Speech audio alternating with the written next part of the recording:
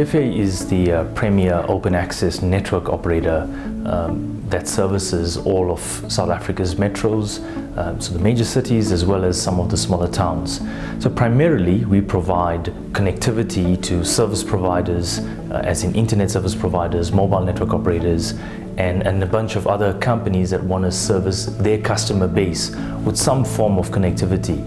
Uh, being a fiber operator, of course, our focus is on high-speed connectivity uh, for consumers, for businesses, for telecoms operators, for data centers, and pretty much for anybody who wants to access the internet at a high speed. DFA started uh, just about 10 years ago.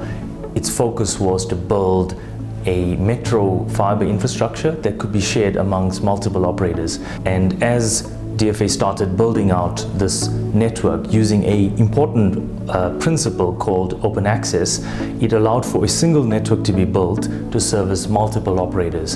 And many of the operators actually came on board uh, very early. DFA today connects the um, undersea cables from the east coast of the continent as well as the west coast, uh, bringing that capacity into the cities and, and basically feeding all the data centers as well as service providers networks with uh, very high speed undersea uh, capacity. So DFA has built out its network in a way that brings that capacity inland, specifically to cities and data centers, and um, importantly that allowed for a significant shift in the pricing model of internet capacity in South Africa. With this operating model, we believe that we have managed to impact the cost of connectivity at quite a significant level, uh, not just for service providers, but for the telcos that use it to connect their base stations, for businesses that are connected uh, via our network into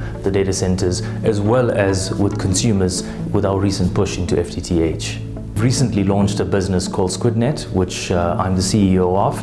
And in that business, we focus on building out a another connectivity platform, but an ultra narrowband network that enables any object, however small or complicated, to be connected uh, to the internet or connected to at least using our network as a platform. It allows us to bring a very, very advanced, high-speed, ultra-narrowband technology at a low price point to a market that really needs it. Our uptime of our network is unmatched across the continent by any passive network operator.